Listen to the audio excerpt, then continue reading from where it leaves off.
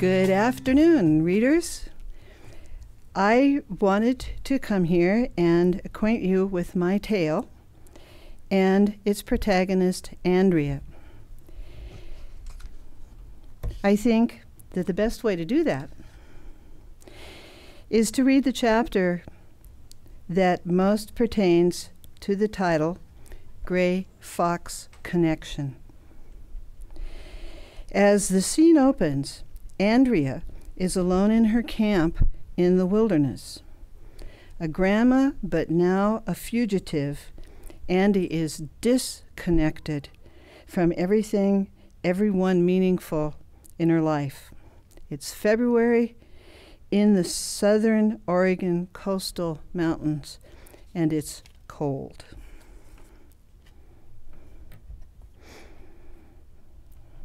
Here begins the reading. One night I heard a distant screaming, like a critter being tortured. I knew that sound from home, a cougar's cry. I shivered, grabbed a burgundy blanket, and went back to sleep. The next night, a second tortured sound accompanied the cougar scream, a kind of howling yelp. Cougar getting its dinner, nothing I could do. Moments later, another scream right outside my camp stirred me to action. It sounded like the cougar was just outside my windbreak. Cougars do attack humans, you know, Elaine Aluminum reminded me. Get it out of here. Elaine Aluminum is a camp coffee pot.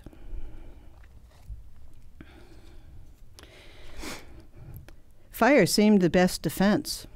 So I threw my headband flashlight on, lit my candle with shaky hand, and rushed from the tent, yelling and shouting. I heard a snarl awfully close by. I had saved a pitchy branch by the fire, and I grabbed it now, burned one end in the fire pit coals to set it aflame, then ran around the perimeter of the camp, waving the flaming branch and screaming. I saw the cougar, or maybe shadows, sliding away in the trees. Making more noisy circuits, I evoked a chubby white image of an ancient Aborigine dance. Dance with fire. My improvised ritual ended with the spraying of bear repellent around the perimeter of the campsite. I didn't know if it worked for cougars, but it couldn't hurt. Using most of my dry wood, I got the fire blazing. All was quiet except for my heart pounding in my ears. At least I wasn't cold. I sat by the fire. Time passed. I heard no more from the mountain lion though I kept imagining rustling in the shadows by the woodpile. I started drowsing and went back to bed. Morning came, quiet and cold and clear, with my usual insistent bladder. I made maximum noise going to the latrine in case I still had kitty company. I filled the coffee pot and went to the woodpile to replenish the stack I'd used last night. Movement, not my imagination.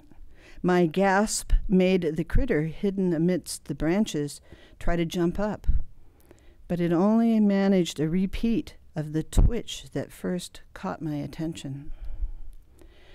Oh, poor baby! I saw a petite dog like nose and scared eyes. Was it a fox? Coyote?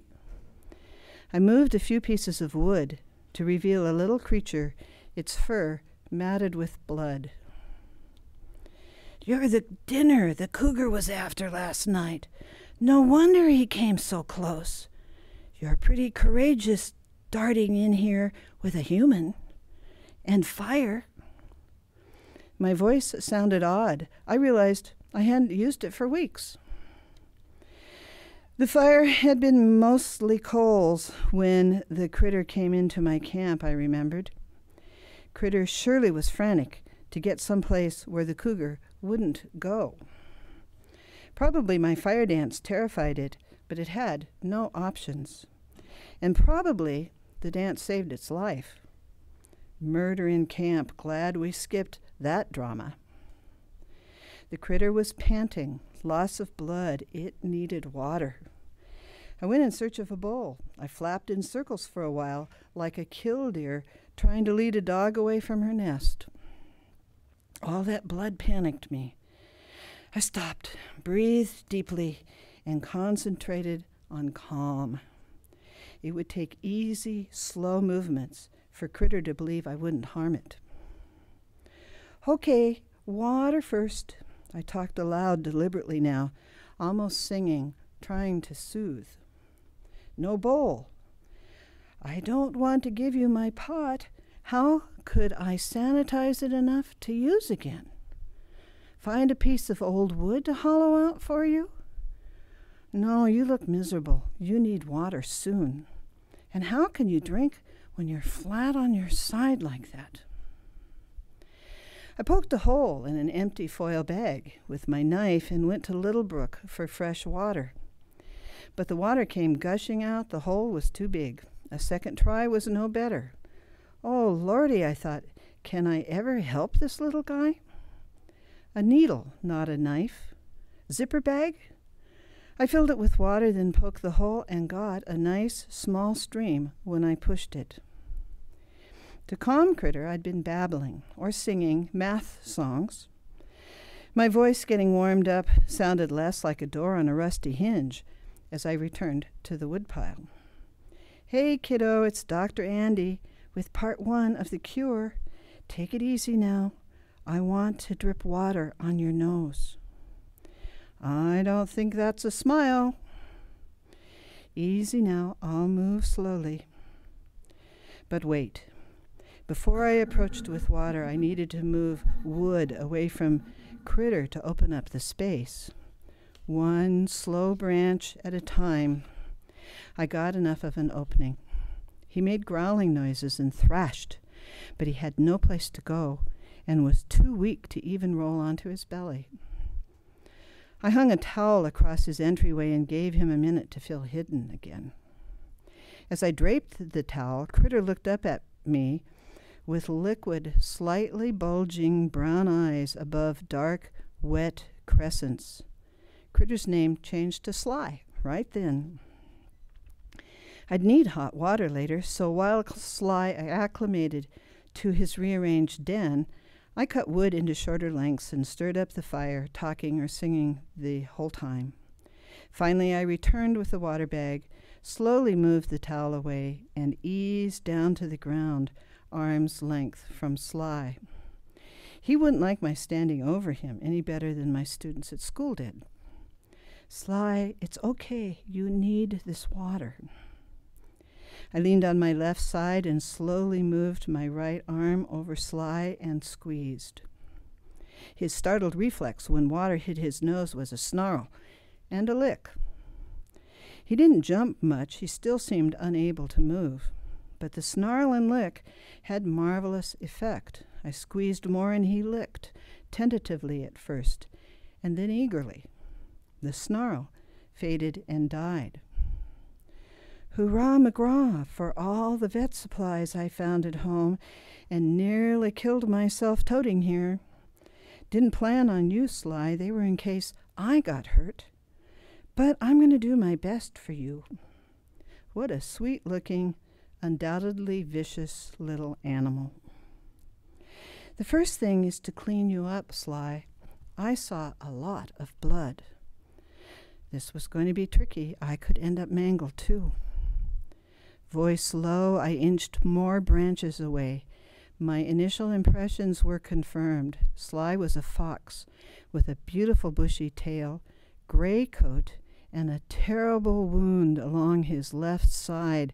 A small stake appeared to hang off his shoulder, a piece of Sly. A slash along his rig- ribs sagged open. I could see white, cartilage or tendons or bone in spots on both his shoulder and his ribs. Whoa, Sly, this is bad. I'm sure his eyes would have broadcast, You're telling me. Except they were full of a hundred iterations of, What are you going to do to me? Do humans eat foxes?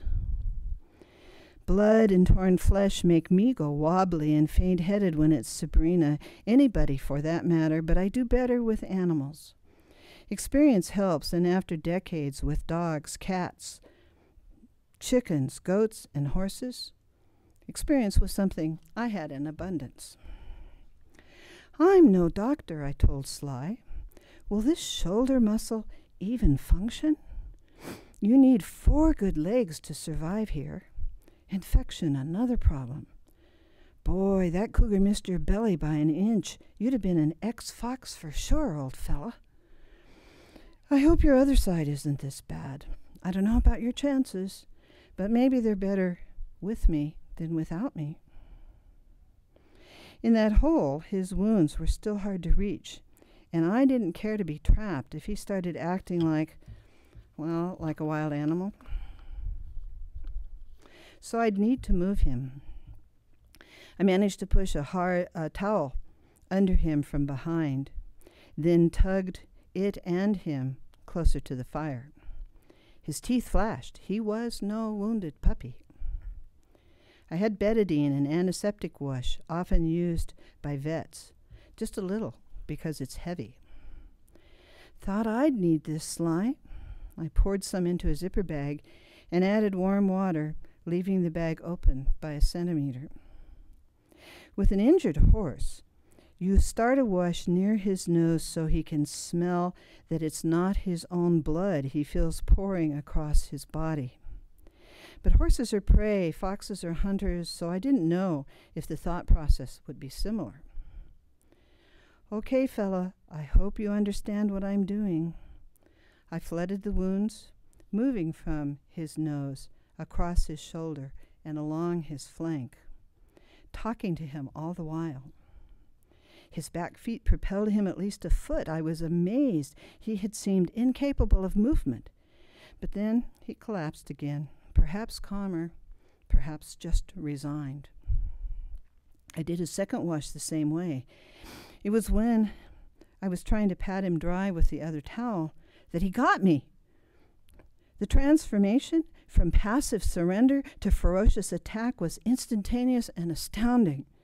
Needle sharp teeth dug deep into my left hand. If my earlier crooning had any beneficial effect, I undid it now with my yelp. How damn, jeez Louise! I jumped up and hunched over, holding my left arm. Gripping tight against the hurt I sagged back to the ground and leaned on the firewood pile. I'm such a wimp. Pain makes me woozy.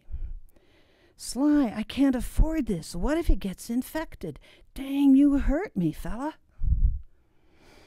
No blood dripped from between my fingers. I stole a look. Two short but deep gashes, one on my wrist, one just above it on my left arm. My self treatment matched Sly's, flushing with antiseptic and patting, patting dry. Betadine doesn't hurt, I'm glad to know, Sly. I'd say you bit me out of fear, not pain. I smeared bag balm onto my sliced arm, bandaged it, then appraised the situation. You're dangerous. I do get it. What if you get me again? What if I get infected? Get a fever, pass out. Who will fix me? We glared at each other across the fire pit. But I can't just leave you. You're such a little thing, a youngster, I bet. I gave him more water, dripping it, as before, from a bag well out of tooth range. I decided to muzzle Sly using a strip of flannel. The trick would be getting it on him. I'd learned a relevant bit of physics when geese chased me in my youth. An animal cannot bite you as long as you have a firm grip on the back of its head. With a goose, it's easy. One hand around the upper part of the neck does it. I'd try a similar trick to muzzle my little fox. Holding a strip of flannel between my teeth, I approached him from behind, grabbed a handful of loose flesh at the back of his neck, and pinned his head to the ground. He sure didn't think I was a friend at that point. His back feet kicked as he tried to push himself away, and his nails dug grooves in the dirt. He snapped and snarled, and I just hung on. Finally, holding his head still with my right hand, I wrapped a loop of flannel around his nose with my left. As his back end spun and struggled, I held him pretty brutally. One end of the flannel strip was between my teeth as I pulled it tight around his nose. I made a second wrap, tied a single knot under his chin, and pulled the ends of the flannel strip behind his ears, securing the muzzle with a slip knot there. The struggle had been terrible for him. Blood oozed again from his wound. Oozing, I suspected, because not enough blood was left in his body to spurt. Hours passed as I did what I could for the little gray fox. I needed a razor to cut away fur to tape him together, but I had to make do with tiny bad scissors from my manicure kit. After I cut what I could and rinsed and dried his wounds again, I pulled the hole on his shoulder closed and taped across it with in three places. After slathering on bag balm, I laid gauze over the wound. I treated the gash on the ribs the same way. He lay breathing fast, eyes closed, probably hoping the end would be swift. To help hold the cl- wounds closed, I created a sort of flannel harness over the gauze, around his ribs and across his chest, sewing it together where the chest band where the chest band met the belly band. Glad I saved that piece of sheet. Glad I saved that piece of sheet and brought the sewing kit. Sure never thought I'd use it this way. I wrapped him round and round with pet wrap, a sort of sticky version of an ace bandage. Another vet supplies item I thought I might need for myself. Maybe everything will hold together long enough to heal Sly. He was still limp, his breathing fast and shallow. Finally, I dragged him to his hidey hole. He must have felt safe, or he was just exhausted. Anyhow, he didn't struggle at all when I removed his restraints and replaced the towel cover over his space. By the time I'd cleaned up, it was mid afternoon. I made a package of hiker stew for myself and set aside another for Sly. Then I refilled his water bag and went to see how he was doing. He wasn't doing well. This is again from the book Grey Fox Connection. I'm Barbara K. Freeman. After you have now met Andrea, you probably understand that it was really very much out of character when she blew up those three Mormon temples, which is what caused her to be a fugitive out there in the wilderness in the first place. I hope you enjoy my book. It's on Kindle and on Amazon. Thanks.